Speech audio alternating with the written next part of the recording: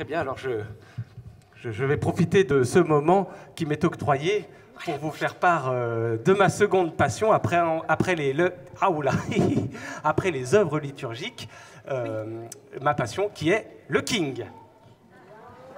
Le, le, le qui? Le King. C'est qui le king? Euh, Comment ça, c'est qui le King? Le King, c'est Elvis Presley. C'est un apôtre?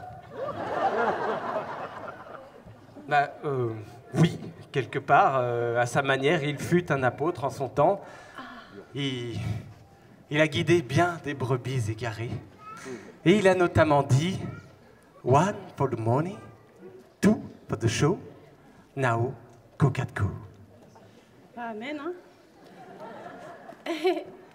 Alors, oui, c'est vrai que je vois à vos yeux un petit peu interrogatifs que vous n'êtes pas forcément familier avec la langue de Shakespeare, Bourg-Saint-Andéol. Ça tombe bien, puisque j'ai, durant mon séminaire, traduit l'entièreté de l'œuvre du King, en français et en latin.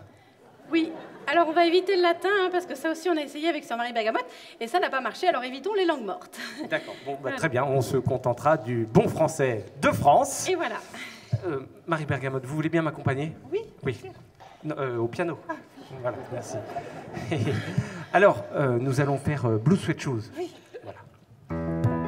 C'est ça, c'est ça, c'est ça là. Donc, les chaussures andin bleu de Elvis Presley. Ou le King. Merci. La, la, la, la, la, la, la. Y a un pour l'argent, deux pour le spectacle. Toi pour être prêt maintenant.